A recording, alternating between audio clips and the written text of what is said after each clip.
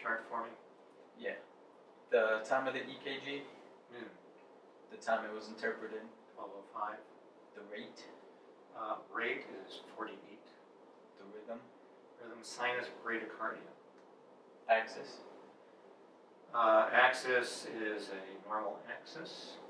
and the ectopy, Uh, there are several premature ventricular beats.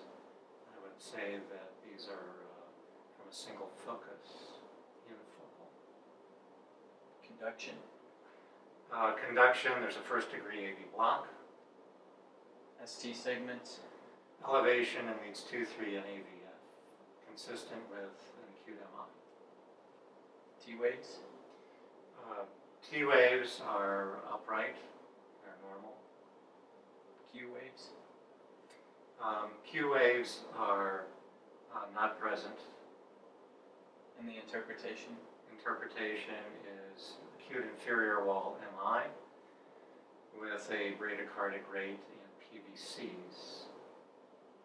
and compared to previous, Uh, prior EKG um, was uh, normal EKG, so all of these changes